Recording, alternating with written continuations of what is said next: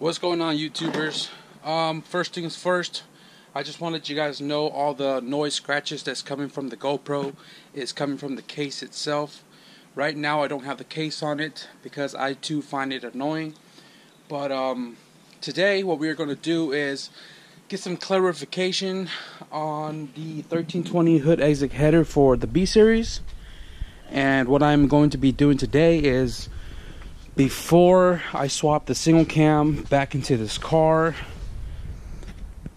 because it currently has no engine in it um, I think it it's a good opportunity to slap in my uh, bare head bare uh, bare head bare block engine and use that transmission to bolt up maybe like two 17 mils. And I got mounts over there to hang it in the car and uh, show you if that fits our chassis with the half core or with the full core or does not fit at all. So what I'm going to be doing is pulling that off the stand, made it up with that guy, get the mount in here, mount the motor, and then mount the header.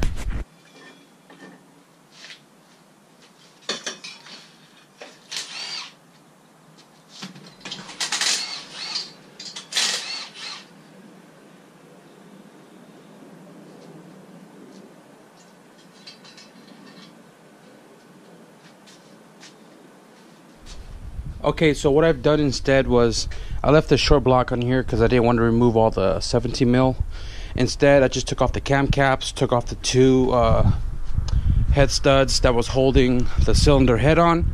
I had a spare block that was sitting there, and what I'm going to do now is put the post mount on here because I have it right here, and mate the block to the transmission and get the motor mount on that hang it in the car and then same thing I did with the two studs put the VTEC head on and then we can mock the header.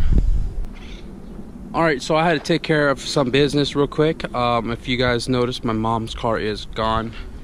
It's very unfortunate but we sold the car took all her little Cambodian CDs out of the car and her belongings. Sold the car for $500 um, we got it for five. We drove it for about seven years. I maintenance it. It's, everything's up to date.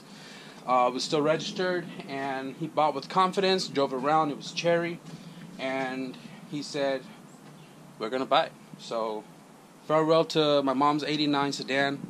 Um, it did her good, but she bought the minivan Odyssey and the Caravan. So, it's not like we don't have enough cars already. So.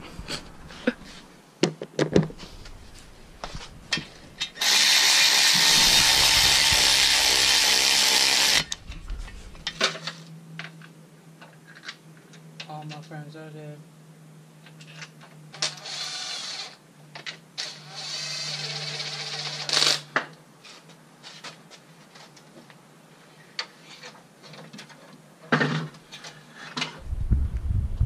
Okay, so after kind of shifting things around, that motor mount, if you guys remember way, way back when I swapped a GSR tranny in my CRX, this mount came from a factory with this uh, mount portion, the top section, was flipped the other way, was flipped the other way, and it pushed this mount an inch out.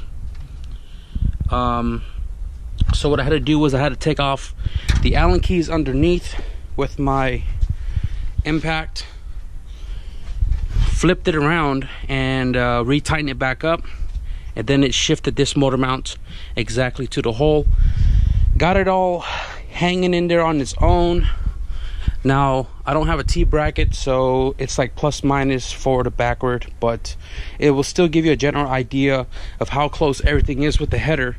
So now what I'm to do is I'm going to pull off these studs which I can just twist off of here I'm going to transfer it over and then put the head on, bolt two of the uh, ARP nut on it, and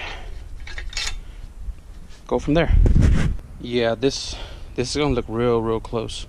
Um, like I've mentioned, I'm not sure how much motor is leaning forward or how much it has to go backward, but general spot, this is where a B series sits in an EF chassis. So, got the studs on, valve cover, Now time to fit this big old megaphone looking 1320 performance hitters. Sorry, guys. Header. Header. So that's gone. Right. I thought that uh, is, uh, cannot be drivable. Because remember, Om, Om Chi 1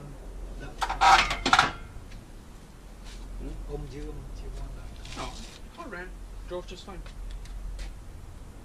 Oh it's gone Gone now. Yeah it's gone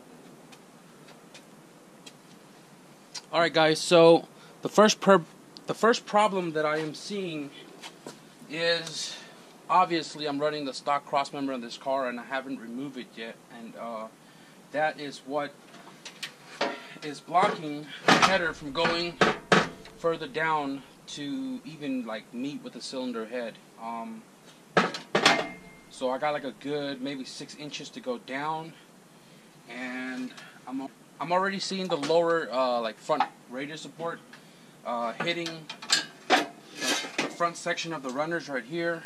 Um, but I mean, most of the time people are going to be running this with the traction bar anyways. So I think what I'm going to do is I'm going to unbolt the uh, 17 mil for the cross member and drop the cross member down and see if the header will at least go on and further diagnose whether or further see if the bottom runners like hit the radius support or not. Uh, but I think it is. So let's see. All right, guys. So I came down to a conclusion that this header will not fit our chassis if you have the stock lower radius support. You can see right down there the runner is hitting that front portion right there. Um, if you don't have that, you have a better chance of fitting, but it also depends on the traction bar. You can see right here, the flange is not even close to where it's supposed to be at as far as the exhaust outlet is on the head. So it's definitely got to go down about two more inches.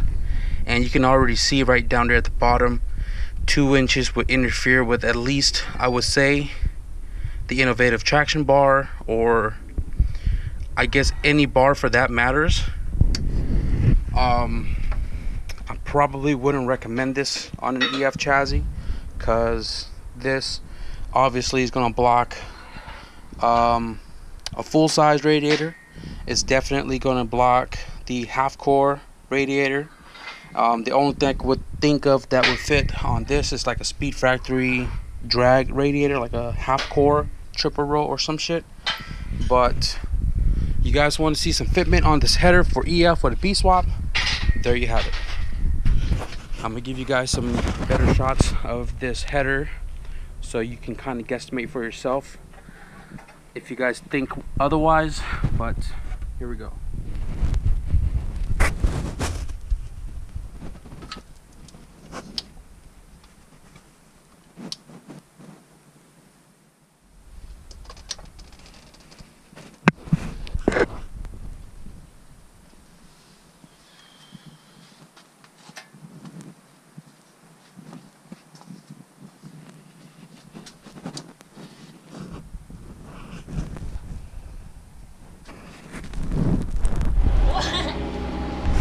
All right guys so that's all i'm gonna do for for this video because um, it is halloween. The neighbor's ice machine is up and going pretty loud and i don't want to be out here when the kids are gonna come through to grab some uh, candy and stuff. So i want to clean up and get the garage closed. Um, but hopefully you guys get a better idea on how the 1320 performance um, hood exit header fits in our chassis.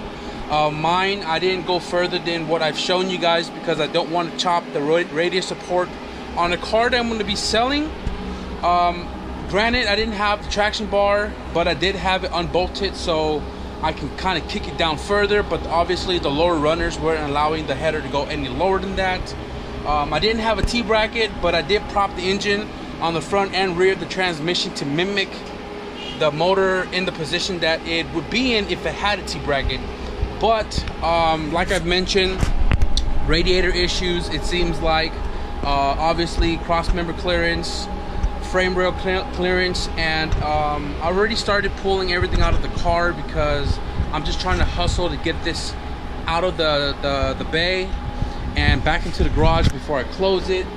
Um, I wish I can do a better explanation and better trying to test fit it a little bit better, but having some type of clarification is better than nothing, right, guys? Uh, leave a thumbs up if you guys like this video. If you guys want to subscribe for some more to see more like R&D type of deals like this, if I ever have the chance to do so, leave a comment below and let me know what you guys want to see. And I will see you guys in the next random video. Peace.